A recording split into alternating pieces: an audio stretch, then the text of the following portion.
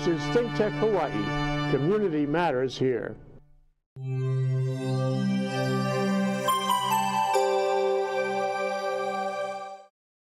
We're back. We're live. We're having a wonderful day. I'm Jay Fidell on Think Tech. We talked to uh, uh, Vic Kraft earlier about uh, re returning to the drafts. That was very interesting. We talked to Roger, Roger Epstein, a tax lawyer from Honolulu. He's in Washington now, about the real deal in the Tax Reform Act. And now we're going to talk about art and community and more, okay, with Sean O'Harrow and he is the new director. I don't know how new you are. You're not so new. Huh? Yeah, yeah. Relatively nine, nine and a half months. A few months. Yeah, Yeah, yeah. At the Honolulu In dog years. At the That's- Honolulu Museum of Art. I said Academy. We were talking about that. The name changed. Yeah. What is the real name now, Sean? The Honolulu Museum of Art. Got it. Yeah, it's Okay. a, it's it it's a, it's actually reflects the merger of the two museums, the Contemporary Museum of Honolulu and the Academy of Arts, Uh-huh. uh, the Honolulu Academy of Arts. But uh, but um, actually, it was the original name, going back to the the, the 1920s. yeah. Fabulous. Um, so you, you've had a kind of loop life. You, you've looped from Hawaii to the mainland. You've done some fabulous things on the mainland. Yep. What did you do on the mainland? Then you came back. So uh, I uh, left uh, Honolulu, as many uh, local kids do. Um, um, probably never to look back again, you know, to sort of leave the rock. And uh, I was away for about 30 years. Uh, and I traveled uh, throughout the mainland and then uh, uh, in Europe and, and the UK. Um, and I, uh, uh, I'm lucky and fortunate enough to have the chance to come back home, which uh, again, you know, you know, I didn't know that was necessarily going to happen, and uh, to run the institution that uh, has had the biggest impact in my entire life, Wow. uh, particularly as a kid growing up. Yeah. Yeah. Oh, talk about that, will you? Why, why what happened that, that had that impact on you? Well, um, uh, my, uh, my my parents uh, wanted to get me out of the house, and and and, and you know Hawaii uh, in the 60s and 70s. Uh, you know, I always described uh, daytime TV as a as a get to work scheme because it was just uh, you know pretty pretty pretty awful stuff. So uh, you know the first thing you did uh, when you woke up was just get out, and uh, and uh, there were a, a limited number of things to do. Um, and my parents thought, well, we'll just get him into art lessons, get him into music lessons. That's what you did. get him out of the house. Um, and uh, and uh, my, my, my mother was the sort of type of mom who would uh, you know show up five hours to an airplane you know early to an airplane so uh, so uh, she would drop me off at the art academy uh, at, at, for an 11 o'clock uh, lesson at about 9 a.m. So, so I'd be wandering the, uh, the the hallways for a couple hours before that lesson. Productive Uh, time. yeah, and then and then I had a I have a, a, a father who's a UH professor. Um, and so he's uh, kind of late to everything, uh, uh, and so um, you know he picked me up uh, at about you know it would end at about one, and he'd pick me up about 3:30, right? So Perfect. So for about you know six hours, I'd spend the time in the in the in the art academy, um, and then when it came to choosing a major, um, really I thought I thought to myself, gosh, what what were the most wonderful days of my life? And I thought, well, you know, it was the art academy, so maybe that's what I should do for, for a living. You know, what can I do for 40 years of my life? You know, so um, uh, but but but part of that. Where, Uh, were- where were you a major? uh, I was at Harvard uh, as a art history major, and uh, and um, I- you know I'm very grateful uh, to the Harvard Club of Hawaii because they yeah. sent me on a scholarship out Yeah, there, yeah, and uh, um, it just happened to be the furthest point uh, in the United States away from uh, my family, and you know I could like be on my own. Uh, and I can finally see seasons and you know all the things that you read about, which you never see as a kid in Hawaii. Um, but uh, but but I think the the time spent on my own uh, in the art academy was important because uh, I taught myself and. If, if you know about education, you, you, you know that uh, it's not about telling people the answer. It's about uh, br- drawing the answer out of the out of the student. And so for me, I, I, I, I wandered the art academy looking at the paintings and and um, um, you know um, I learned about female anatomy, for example, in the Sure. in the. Uh, but I taught myself a lot of things, and it was and it was a, it was a, a, a, a wonderful experience that um, again you know stuck with me throughout my career, and so this is why I'm here. Yeah. Oh, that's great. uh, the, the prodigal uh, son uh, returns. Yeah. Yeah, yeah, that's right. That's right. Something like that. Yeah. So, what do you think of art actually in our society these days? Uh, This is not a small question. Well, I, I think our art is incredibly important now that we've realized that there isn't one way of communicating. Um, I- I, I think growing up, uh, a, a lot of education was prescribed, and I think that uh, uh, uh, you know there was one way to do mathematics, there was one way to uh, interpret things. Uh, if you disagreed with a professor, then you were wrong. Um, I think now people have realized that there are many ways of viewing things, many viewpoints, um, all equally valid um, and and many ways of communicating. And in um, in schools now, the the the the the objective is to give students the opportunity to grow and learn and become productive members of society. And if you're only concentrating on uh, a very uh, monodimensional sort of approach, uh, you're going to leave a lot of people out in the cold. Yeah. Um, so art and, and other creative uh, forms of communication, uh, I think, are essential to, uh, in order to um, uh, create a society that, that is more productive. Yeah. Uh, because you'll have um, students and, uh, and, and people um, able to uh, pursue things in the way they think mo- most effective. Yeah. And, And, and also a quality of life for the individual. uh, yes, and, uh, and uh, quality of life and quality of life for the people who experience what these people create. Yes. Yeah. Well, I mean, really uh, interesting because I, I don't think there's much art uh, training going on in schools these days. Am I right? Uh, yeah, and there are a lot of reasons for that. I think No Child Left Behind was uh, was a program that that uh, that uh, helped reduce some of the art uh, teaching. Um, I think that it just had to do with uh, budget cuts and and concentration, maybe an over concentration on STEM, not fully realizing that STEM is only part of the discussion. That you can't have um, you know, sciences without without being able to communicate, or humanities, or or or, or other ways of thinking, um, uh, and uh, and uh, but you know, the good thing is that, and it's obviously a two-edged sword. But you know, with the uh, uh, uh, rise of the internet and with other forms of digital communication, we found ourselves in an incredibly visual world, visual um, sound. Um, I, you know, we don't read these manuals anymore uh, on on uh, you know the equivalent of VCRs. We watch videos, right? Right, right. So um, so I think that. Uh, uh, there is a, a slow realization that uh, visual communication, uh, communication through sound, is as important as any sort of alphanumeric communication that we've been uh, um, concentrating on in the past. It's all art, isn't it? It's all art. It's all communication. Yeah.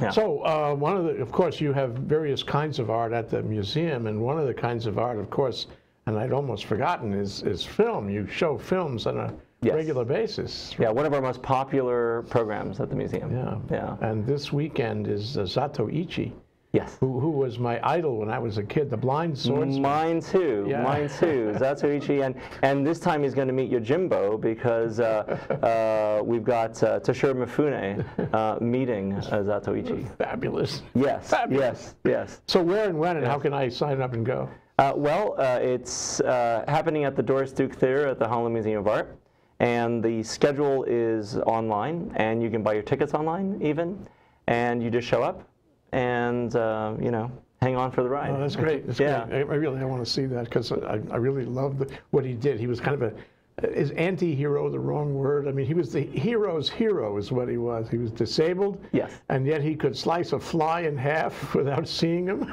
That's right. That's right. That's right. Well, uh, with, with a lot of humor as well. yes, right, Yeah, right. yeah, yeah. Droll humor. Yeah. So, uh, you know, let's talk about let's talk about shows. Uh, right now, you, you've organized a show um, involving uh, Jackson Pollock, um, Mark Rothko. Satoru Abe. Uh, oh wow! Um, De Kooning? uh, yep. Yeah. Harry Tsuchidana. yeah, Yeah. It's world class, world class, right here, not, not, not a mile from where we're sitting. It is. It is. And uh, and uh, our curator in charge of the exhibition, uh, Theresa Papanikolas, did a marvelous job. Um, working with all of her colleagues to create this. Um, this is this is a, a profound show. Um, it's exactly what we should be doing at the Honolulu Museum of Art. Uh, it's exactly what our population um, wants and needs and, and desires. Um, because what it is is it's an international level uh, uh, uh, presentation. It, it brings in art from uh, museums around the world, um, like the artists you were talking about, uh, Jackson Pollock and, and Mark Rothko. Um, but it also talks about the connection between those artists who promote themselves as being in a vacuum. I mean, they're from New York, right? So they, they're the center of the universe. Yeah. Um, and it connects them with the centuries old tradition of abstract art in, in places like East Asia, particularly Japan. And then what it does is it also brings in the folks in Hawaii and the folks uh, on the mainland, like on the West Coast, uh, and it tells their story.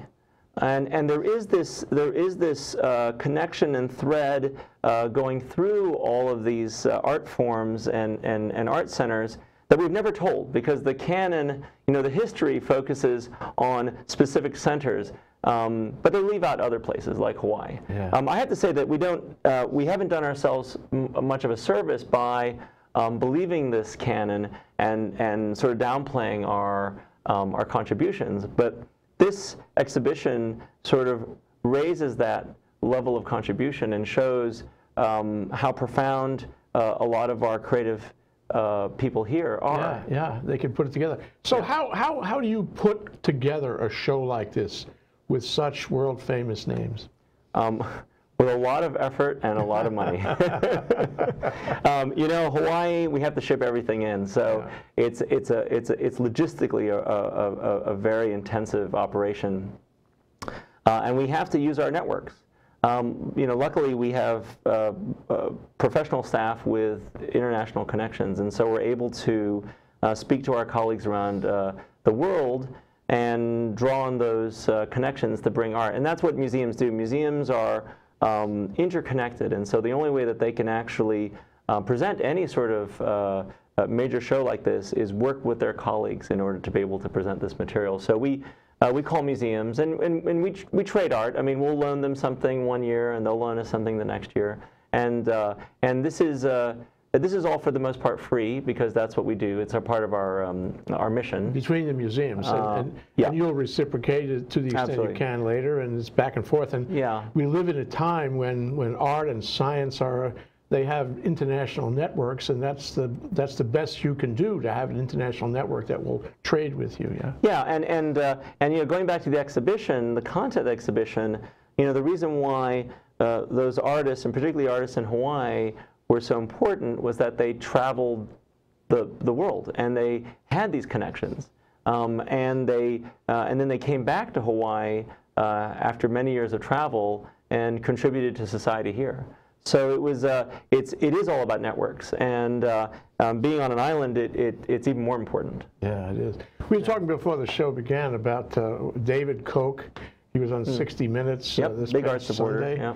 Big art supporter, and Yeah. uh, the show was not so much about his art, but about his wine, Hmm. where he had some bottles of Je- Thomas Jefferson vintage wine that he was concerned about and felt they were fraudulent. So he spent 35 million dollars chasing down the fraudsters, and he actually caught them. Uh, but what was interesting is You got his money's worth? well, it's a relative term. Yeah, So he, uh, in, the, in the course of the show, uh, you could walk through with his house with him, Mm-hmm. David Kogan, and you could see the art on the walls. It was all world-class art. I mean, it was, it was a collection worth hundreds of millions, maybe billions of dollars right, Mm. Right, right. there on the wall. And um, I asked you, well, do we have any David Kochs living in Hawaii? Do, do we have any people with collections like that? Answer, probably no. Huh? Well, there, there, there, there, are, there are many collectors, and, uh, and from a museum's point of view, the value of the art doesn't really mean a lot. Um, it's really about the significance of the artist's contribution. Um, you know, a lot of the local artists that we have in the show, um, their values pale in comparison to, um, you know, the Rothkos and the, the Klines and so on in the show. Um, but, you know, as far as we're concerned, they're equally important. Um, and, and museums are, are, are quite well known for not placing value on the art. Yeah. So, uh, you know, part of that is, is, is because the markets go up and down. Um, we're a forever institution, so uh, we collect art and we hold on to it forever uh, for the benefit of our Yeah. society. That's, that's the point I wanted to get to, is Yeah. that- is that you become um, the home of David Koch for us. In Yeah. other words, if we want to see, you know, world-class art, we have a place. We can come and see it. We can come and see that museum. Yeah, and I think that's what um, you know. Perhaps there's a misunderstanding about museums. You know, museums are for certain people, or or you know, for people like the Koch brothers and so on. Um, really, uh, you know, a museum is a public institution. Uh, when Anna Rice Cooke um, established the museum in the 20s, um, you know, her mission was to uh, take these great um, uh, um, masterpieces of, of human uh, creation and to share them with all the people. And all so about sharing. it, it's all about sharing. It's about education. It's about uh, um, it's about uh, uh, quality of life. It's about uh, enjoyment. Um, and uh, you know, a bit like uh, again uh, when I was a kid in the in the art academy, you know, I was you know a kid from St. Louis Heights. You know, I mean, but I was wandering the art academy, and I could uh, experience all these great uh, impressionist paintings, all these great Japanese prints. Yeah. Yeah. Yeah. Well, that goes that goes to a question I, I really would like to ask you, and that is, when when I walk into the museum, this museum especially, Mm-hmm. uh, and I want to have your kind of experience as a kid. Mm. Uh, what am I looking for? What what am I what am I uh, what am I my sensory perceptions? What do I want to find there? What is my thought process for appreciating the art in a way that I can have a takeaway and carry it home? Well, one, th- one thing I would do is I wouldn't um, necessarily seek anything out. Uh, and I wouldn't sort of predetermine a path. I would sort of follow one's nose and I would walk into any sort of gallery um, and I wouldn't, and I would try not to say, oh, you know, I don't like uh, you know, this type of ceramic or, you know, this sort of uh, artwork reminds me of my grandmother's house or that sort of thing. Um, I really think that you, you should try to walk in and, and you know, keep your mind totally open um, because the art on display at the Honolulu Museum of Art is some of the greatest artwork in the world. And so these artists who have something to say, they're the great philosophers of our, of our civilization, um, have something profound to say. So I would just keep your mind open, go up to any artwork, look very carefully, and I would spend more than the few seconds that one normally spends in front of artwork. I would try to spend several minutes looking at it and maybe even come back to it and spend another several minutes and try to build up as much time. Because uh, the more you look the more you learn. And it's and it's it, it a lot of the great art is not obvious at first. Um, uh, perhaps it's very complicated. So i would say i would say give it a lot of time. People don't spend time looking anymore. yeah. and the great thing about art museum is we're the antidote to the digital illness, right? you know, the ADD of society. Uh, we are that antidote, and so spend the time, and you know, maybe don't look at the rest of the museum, but look at one or two works of art and spend the afternoon. So, and the operative question would be, what is this artist trying to communicate to me? That's right. Uh, and I mean, do you have to be right about that, or can you have a difference of opinion with someone else? No, completely. Yeah, it's. Uh, I mean, there is. You know, in many cases, there is a right answer because the artist does have an intention. Yeah. Um, but uh, I would say that uh, uh, um, you know you, you need to take it in and you need to enjoy it and you, d- and you need to understand it and uh, and you know that's that's that's what learning is all about. Yeah. Yeah. Well, Sean, we're going to take a short break. When we come back, and what I'd like to talk about is how this extends to the community, how the art that you're doing extends to other forms of art in our state. Mm-hmm. This is really exciting, exciting discussion. I know it will be exciting. We'll be right back after this short break. This is Think Tech Hawaii, raising public awareness. We have this crazy thing going on today. I was just walking by, and all these DJs and producers are set up all around the city. I just walked by and I said, what's happening, guys? And they told me they were making music. Is the way you walk, is the way you talk.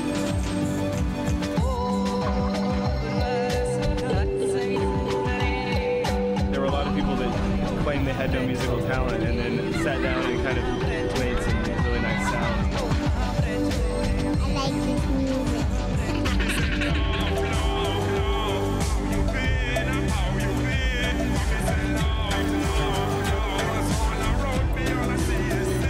Feel amped about today, inspired musically, about life.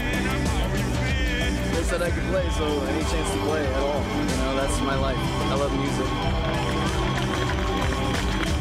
Yeah, that's how we do it.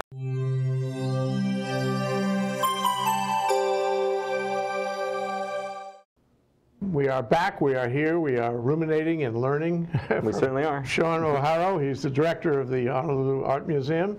And uh, where we left this very interesting discussion is uh, the extension of the art in that museum to other, other forms of art in the state, uh, where it is, where it can go, and how do we get there? Big question. Uh, yeah, I mean, we're, uh, as, as, as, as some people refer to us, a rock in the middle of the Pacific. Um, we're the most isolated inhabited landmass uh, on the planet. Um, so, you know, we have some natural advantages, um, but we have some natural disadvantages.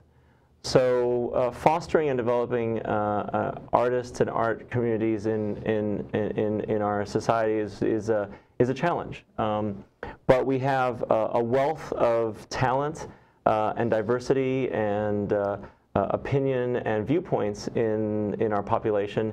Um, and I think that's unique, uh, perhaps, uh, uh, in the United States, if not the world. Yeah.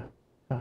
And, and really extraordinary. And there's, there's a human capital, human resource capital kind of thing there that sometimes we don't recognize.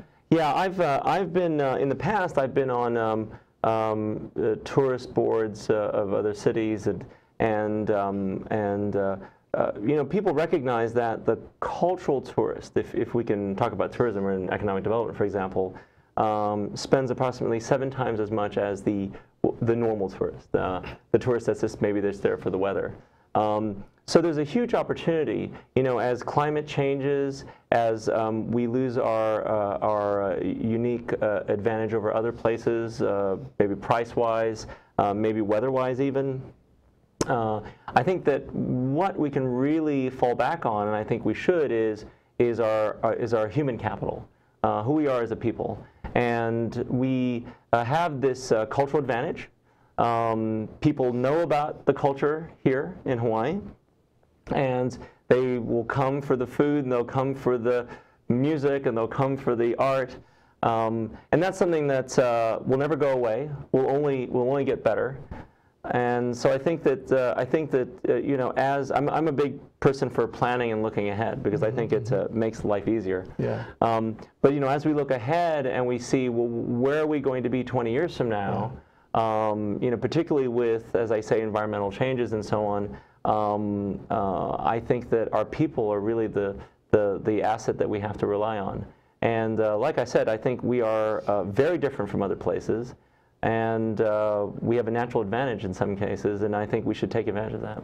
Now, you've been involved, um, and I hope you'll be involved on a continuing, increasing basis in, in an attempt to bring the arts together. Yes. Um, and that's really important. We need that. We can't be silo on that because together we are much more Yeah. than we are individually. well, you know, as we say, we're all in the same canoe. Yeah. We should all paddle in the same direction. yeah. Yeah, and uh, I think the sort of uh, either the internal competition model or the in, or the infighting doesn't doesn't necessarily work when you're on a isolated landmass uh, with limited resources Right. um, and, and limited options. I mean, again, you know, we uh, uh, uh, um, uh, we have a unique position, and um, planning out ahead. Um, I think all the organizations uh, need to uh, work together. What would you Um, plan? Well, uh, let's just say that, um, uh, as, I, as I mentioned before, uh, we need to emphasize our natural advantages, and uh, our culture is, is one of our natural advantages here. Um, our diversity of culture and our, and our, our, our interesting and multidimensional aspect. And I think the, um, uh, I think the various arts organizations, if they work together to create a, a long-range plan, um, they can then approach uh, other leaders in the community uh, to understand that plan and to sort of create another plan for uh, the state and our population uh, 20 years from now. Again, you, you can only have a map if you you can only have a road map if you know where you're going. And uh, I, I I'm not exactly sure if we know where we're going as a state. You know, um, there is a point, and the reason why I said we, we have limited options is there is a point where we'll run out of land, water, all sorts of things. Um, so what is that capacity? And if and if we reach that capacity, then what do we have? So the so the idea really is is uh, you know what sort of society we, do we want to create? Yeah. And uh, the, the the cultural organizations because they center on human creativity and really the creativity of our people, um, they have to to lead that discussion. Uh, and I say it's a discussion because it's not that these organizations are going to tell people what to do. You know, ultimately, these organizations need to be relevant, and they they're, they're going to be relevant by reflecting the needs and desires of the people. Right. Better society, b- better better relations with people, better quality of life individually. Yes. Uh, But uh, let me let me ask you this. You know, I get I get a couple of factors in here. One is we can attract people, uh, tourists, inclu- including cultural tourists. Right. The other thing is, do we want to attract them with what we bring in or what we create? Because, I mean, you suggest that we have a lot of creativity, we have a lot of possibilities to express our culture and, and our creativity. Uh, where's the focus in the plan? Where's the focus there? Well, I think that we have to have both because you can't foster creativity and develop creativity here in a vacuum. You have to bring in knowledge from the outside. Um, you need our people here to travel, to see new ideas, new solutions, and then come back and bring them back here. Um, uh, we are very good at shipping out our young population, never to see them again. Yeah, sure. we almost lost you. Uh, yeah, yeah, yeah. Um, well, and, and I would say that uh, all my classmates have not come back, really. Or at least the ones that left, they've, they've, they're, they're, they're pursuing careers uh, around the world. Um, coming back is not uh, an easy option for them. Um, but they have a knowledge because they have a knowledge of, of the local scene, and then they have a knowledge of the outside world. And um, the artists in the exhibition, Satoru Abe, for example, and Harry Tsuchidana, uh, these were two artists who uh, left their home in Honolulu and ended up in New York City, uh, traveling around and learning and learning from artists and, and getting degrees and education and winning awards and then coming back. Um, and and the uh, uh, the only way that I think we can develop our society is by bringing in new knowledge and, and new Yeah, ideas. let and, it breathe. And best practice. You can't have it. You can't focus down on one one small culture point. You have to let it breathe in terms of Right. you know the world process. Right. And then what you have is, then you have people here who start creating things because they bring in new ideas. Yeah. Um, and then, of course, people from the outside will come and look at these new at these So new we ideas. become a center. Yes, and and we can be um, because we have such a diverse population. And so people will naturally go to all four corners of the earth uh, versus uh, you know just moving to one area or another. Um, so you know we have influences from Japan and from Southeast Asia and from California and from Europe and from Africa and South America. Um, just just you know in our population alone. So It makes it even richer that way. It, it does, it does, and you, and you can see it in the food that we offer. You know? Sure. Yeah, it's sort of the plate lunch uh, uh, approach to uh, to culture. So the, the last question I want to pose to you is how, how do we get there? I, accepting everything you said, and I totally agree with it, um, and you know making a plan that goes off in the future and connects up art and makes an art community, a world-class art community that will Yeah. bring people here and give us greater satisfaction, cohesiveness as a community, you know, engaged in intellectual pursuits like that. How do we get there? It's not easy because you have to train kids. We're not training them enough. Right. I know that's got to be part of the plan. Well, I'll go back to what I said about planning. I think you have to understand where you need to be, um, and you have to plan out a generation ahead. So I'm talking, you know, 20 years, 25 years ahead. Um, I think that uh, you have to be incredibly realistic with the challenges. You know, we can't be uh, um, shy, hazukashi, or anything like that. We have to, you know, say, look, um, we have limits where we are. Um, uh, you know, shipping is, a, is, is expensive. Um, um, bringing people here is expensive. Having people go out. Um, so, what are the challenges involved in that? And and you know, once we understand that, and we're not, again, uh, I have to say that uh, growing up in Hawaii, we didn't really worry a lot uh, about much when, when I was young because you know the. The, the, the day's always nice. Uh, you never get lost. You know, food falls on your head. Um, uh, you know, clothing is optional. You know that kind of thing. So, so you know, tomorrow will always be fine, right? Yeah. But I think that uh, you know now that we see with global climate change and and uh, economic things, and uh, I, I, we can see that the world doesn't stand still. And if we're not moving uh, uh, ahead at a good pace, we, we're not even going to catch up. So I think it's important that we have these long-range plans. I also think it's important that we all work together, that we're not all in our little silos uh, communicating with ourselves and not coordinating things because it's, it's a waste of resources. We don't have that many resources being an island. And, uh, and, and it doesn't make a lot of sense to compete with each other when, you know, it's probable that our vision is, is similar, you know, Sure. 20 years from now um, because we have limited choices. So um, I think that really it's going to require um, the state of Hawaii to have a vision, uh, to know what it wants to be when it grows up. Um, it, it, it needs to have all the arts organizations, uh, for example, um, um, coordinated uh, amongst themselves. They have to coordinate with the education system, which is the lifeblood of our society. Um, we have to work with the business community. So it's really about coming uh, up with a master plan, which I know is a is a is a pretty uh, uh, uh, um, um, you know remote possibility in some ways. But it's actually the only way you're going to get there. Um, uh, it's it, and and solving major problems uh, are not going to happen overnight. Yeah.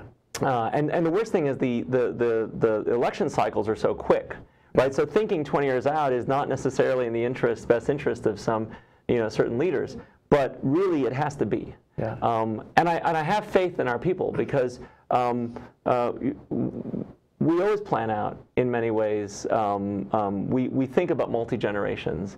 Uh, people are now living longer, so you literally have three, four generations living together. Um, you know, the the uh, the the answer is in front of our eyes. We just have to we just have to come to the realization that that uh, that this sort of planning and coordination is important. So what role do you hope to play? What role do you think the Art Museum should play? Um, well, I, I think that uh, uh, being able to foster discussion and to be able to maybe marshal uh, both interests and resources uh, would be helpful. Um, we are one of the largest, if not the largest, sort of cultural organization of our kind in, in the state. Um, and it's so we have the responsibility of, of, of working with other organizations to make sure that uh, um, everyone has their say. You know, at the end of the day, it's not about um, uh, being right. I- It's about it's about getting it right. You know, and so um, you know, as, to make as informed a decision as possible by having other organizations involved is important. Um, I kind of joke that you know in Hawaii um, the answer is to unionize, but um, but but it, it is kind of that. It's really getting those groups together to, to, to also form a critical mass so that when we speak to the leaders of other areas, uh, then they then they're listening to us because we have a certain authority. Well, I hope we can discuss this further, Sean. I, I hope uh, uh, you treat this as a. You mean this isn't a three-hour conversation? No, no, Oh, no, it is, darn, but it's yeah. very kind of compressed. Right, right. and I hope you'll come back, and I hope we can have this, this conversation again and again at this table. I look forward to it. Thank you, Sean. Yes, thank you so Sean much. O'Harrow, Thank you. Director of the Art Museum, the Honolulu Art Museum. Great to have him on the show. Great to have you. Thank you. Thank you so much. Thank you.